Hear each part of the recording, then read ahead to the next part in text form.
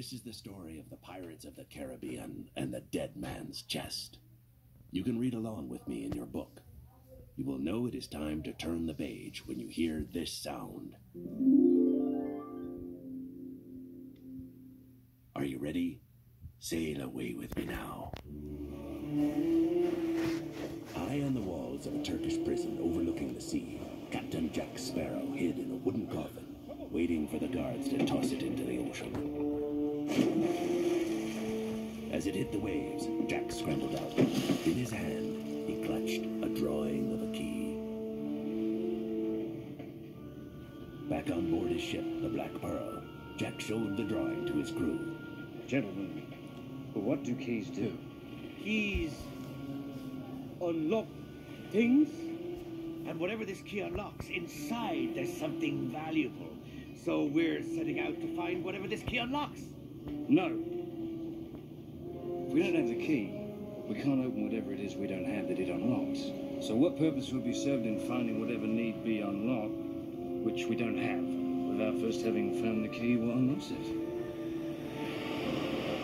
So they set off to find the key. But Jack's compass wasn't working properly, and he didn't know which way to sail.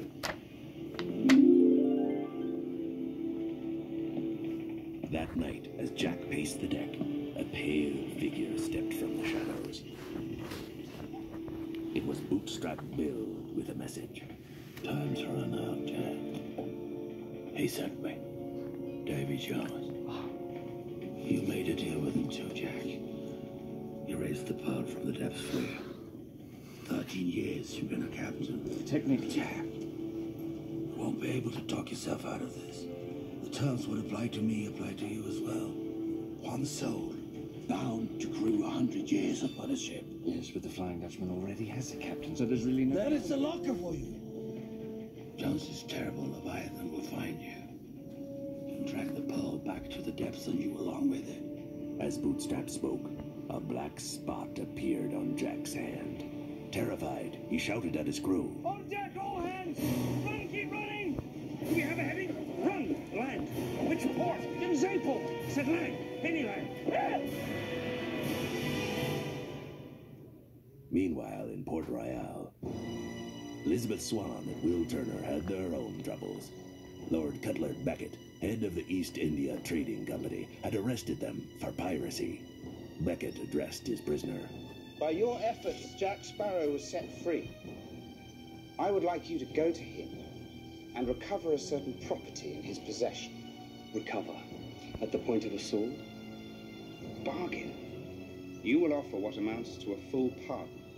Jack will be free, a privateer in the employ of England. Jack must find his place in the new world or perish. Not unlike you, Mr. Turner. You and your fiancée face the hangman's noose. So you get both Jack and the Black Pearl. A ship, hardly. The item in question's considerably smaller and far more valuable. Something Sparrow keeps on his person at all times. A compass? Bring back that compass. Or there's no deal. Will accepted the deal. He left to tell Elizabeth was still being held in a prison cell. Elizabeth was worried. Jack's compass. What does Beckett want with that? Doesn't matter. I have faith in you. Both of you. But when Will left, Elizabeth began making her own plans.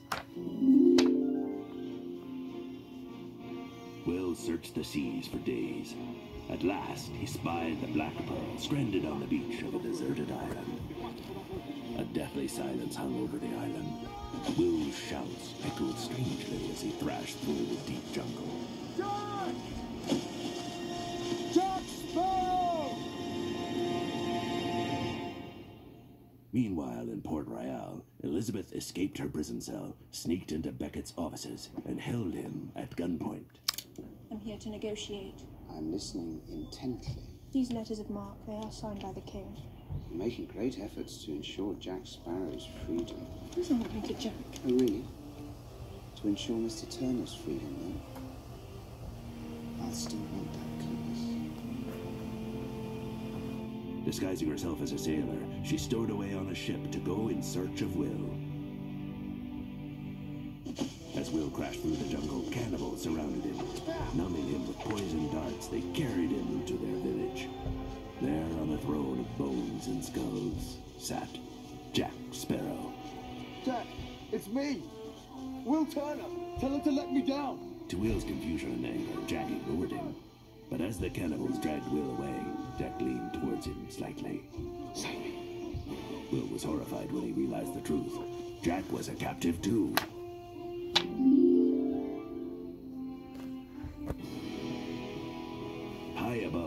Hung two cages made of human bones and jammed full of Jack's pirate crew. The cannibals shoved Will inside a cage with Jack's first mate, Gibbs. The Pelegostos made Jack their chief, but he only remains chief as long as he acts like a chief. The Pelegostos believe that Jack is a god in human form, and they intend to do him the honor of releasing him from his fleshy prison. They'll roast him and eat him. Jack's life will end. The drums stop. Will knew he had to do something. He ordered the pirates to swing the cages toward the canyon walls where thick vines grew. Rocking back and forth, the pirates grasped the vines. Come on, men. Put your legs through. Start the climb. But as they reached the top of the gorge, a cannibal guard saw them. He raced for the village, shouting the alarm. Screaming in anger, the cannibals raced after the escaping pirates, leaving Jack alone. Taking his final chance to escape, Jack jerked himself free and sped toward the beach where the Black Pearl waited. He reached it just as Will and the rest of his crew raced up. Dodging hordes of screeching cannibals, the men leapt on board and cast off. Gibbs greeted his captain. Let's put some distance between us and this island and head out to open the sea. Yes for the first, yes for the second, but only insofar as we keep to the shallows as much as possible.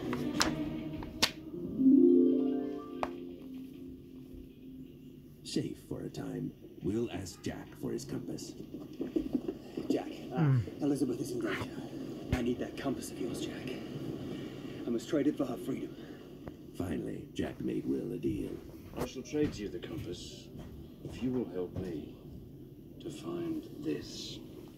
He showed him the drawing of an unusual key. When Will agreed, Jack told him there was only one person who could tell them where it was the mysterious Tia Dalma. Later that night, they rode up a dark, swampy river to Tia Dalma's rambling shack. She was waiting for them, as if she had known they would come. Tia Dalma nodded knowingly when Jack showed her the drawing of the key. Your key go to a chest. And it is what lay inside the chest you seek, don't it? You know what, Davy Jones? Yes? What exactly did he put into the chest? Him heart. Him carve out him heart. Lock it away in a chest and hide the chest from the world. The key, he keep with him at all times. To get it, Will would have to sneak on board the Flying Dutchman ship and take the key from Jones. Tia Dalma told them where to seek the ghostly ship, and she gave Jack a jar of dirt. Davy Jones cannot step on land but once every ten years. Land is where you are safe, Jack Sparrow. And so you will carry land with you.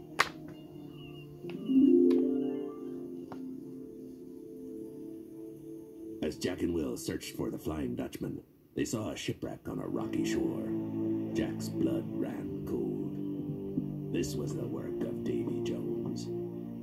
As Will prepared to board the ship, Jack gave him some advice. If you do happen to get captured, just say Jack Sparrow sent you to settle his debt. Might save your life. On the ship deck, Will saw faceless, dead men scattered everywhere. Suddenly the wind began to howl, and the ghostly Flying Dutchman rose from the churning sea.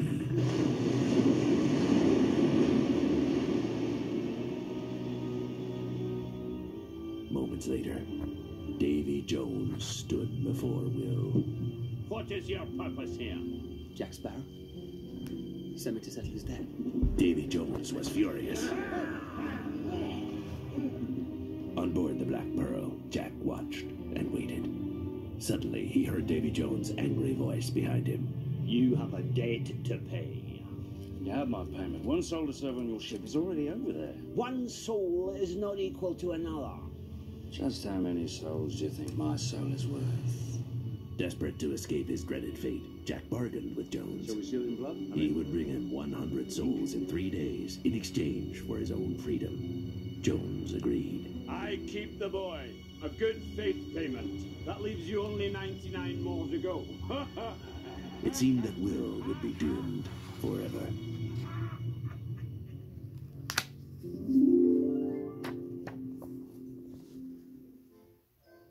Crew sailed to Tortuga to find souls for Davy Jones.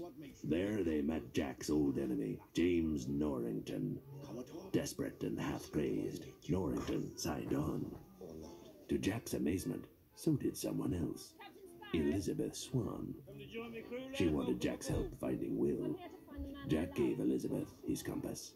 Poor Will has been press ganged into Davy Jones's crew.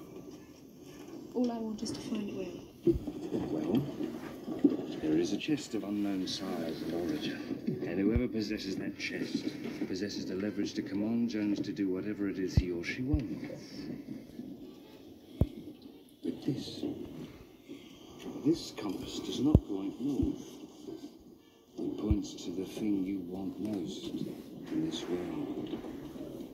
And what you want most in this world is to find the chest Davy Jones, is it not? To save Will. By finding the chest of Davy Jones. In Elizabeth's hands, the compass worked. Steadily the needle swung around till it pointed to Isla Cruces, the Isle of Crosses.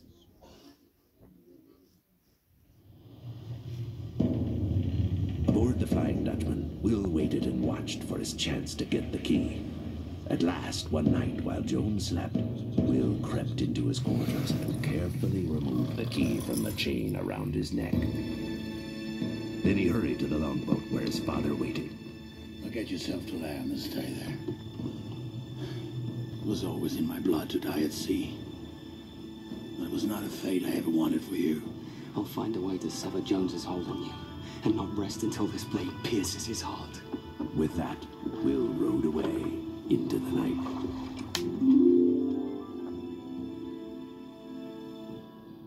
Many long, wet, cold hours later, a passing trading ship rescued Will from the longboat.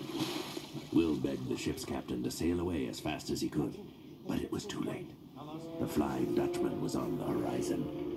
Will grew pale. I've doomed us all. With a sickening jolt, the ship lurched to a stop. The sea boiled with foam as a huge, slimy tentacle rose from the waves. Will watched, powerless, as it snatched the captain, threw him into the air, and broke him like a twig.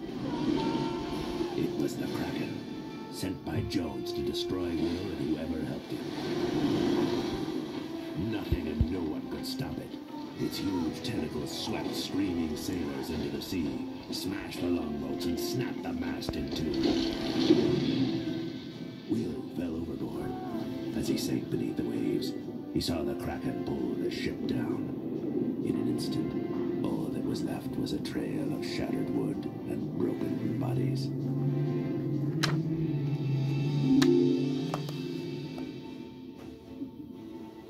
The shadow of the Flying Dutchman drifted above Will as he surfaced. He snatched at its arm and hauled himself up, clinging to a small crack of the crew tell Davy Jones some disturbing news. The boy's not here.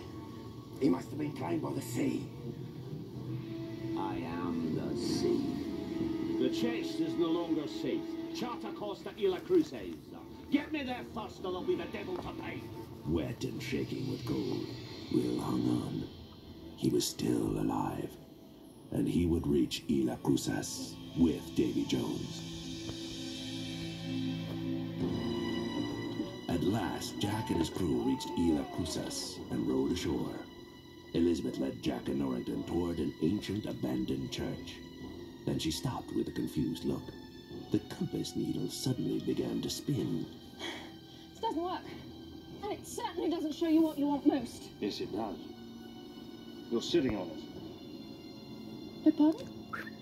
Jack pushed her aside as he and Norrington began to dig. They quickly uncovered a large chest. Inside it was a small chest of solid iron. And from inside that, they heard the rhythm of a muffled heartbeat.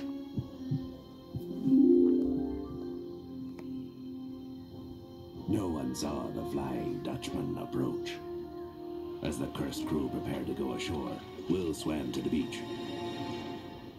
In no time, he found Jack, Elizabeth, and Norrington staring at the iron chest before them. It's real. You actually were telling the truth. I do that quite a lot. Your people are always surprised. With good reason. It was Will. He pushed his way through and made for the chest. I'm gonna kill Jones. Can't let you do that, William. Because if Jones is dead, who's to call his terrible beastie off the hunt? eh? Only Davy Jones could control the Kraken. If Jones died, the monster would never stop. Jack's plan was to use the chest to make Jones call his monster off forever. Then Norrington stepped between them. He wanted to take the chest to Lord Cutler Beckett. Each man needed the chest for different reasons. They drew their swords, charged each other, and began to battle for the key.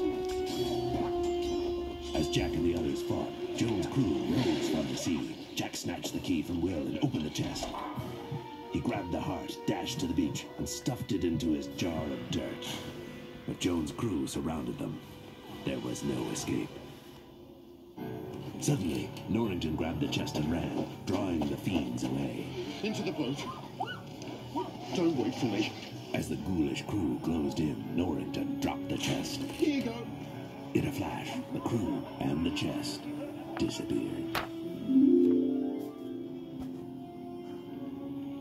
As the Black Pearl sped away, the Flying Dutchman shot up from the depths beside it and opened fire. Jack dropped his jar and shattered at his feet.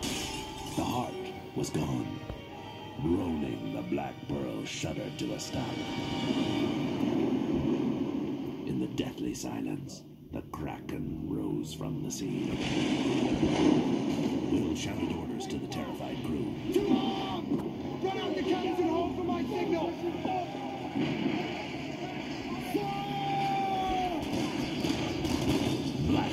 Blasted by the cannons, the Kraken drew back.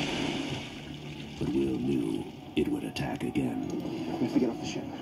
But the Kraken had destroyed all the longboats except one, and Jack Sparrow was in it, rowing toward land. Will and the crew loaded the cargo net with barrels of gunpowder and swung it out over the rail. Then Will gave Elizabeth a rifle. Whatever you do, don't miss. He leapt on top and called out to the Kraken. Come on!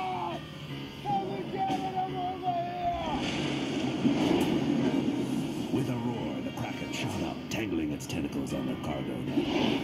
As Elizabeth took aim, the ship lurched, and she fell. Then she saw Jack. His compass had pointed him back to the Black Pearl and her. Jack grabbed the rifle and fired as Will leapt away. The gunpowder exploded, ripping the Kraken's tentacles apart and setting them on fire. Again, the Kraken fell back, but Jack knew it would return. Abandon ship into the longboat.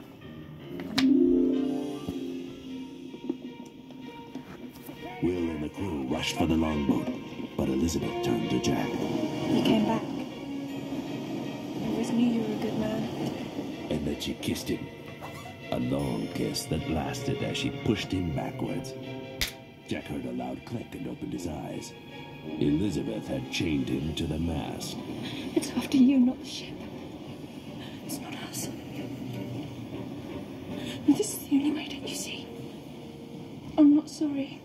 Jack smiled at Elizabeth. Paris. Elizabeth raced to the longboat and climbed in with Will and the others. Will looked around. Where's Jack? He let to stay behind to give us a chance. Go! From a distance, Will, Elizabeth, and the crew watched the Kraken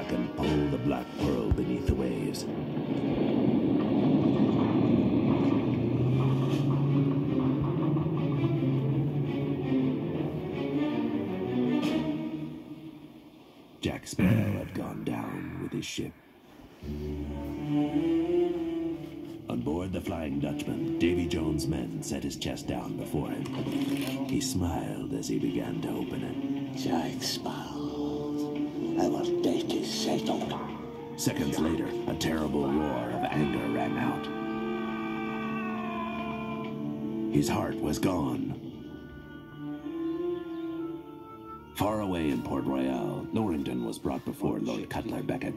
He placed the pardon documents, promised to Will and Elizabeth, before him. I took the liberty of filling in my name. If you intend to claim these, then you must have something to trade. Show the compass. Bet. He placed a burlap sack on Beckett's desk. The heart of Davy Jones. The crafty Beckett smiled.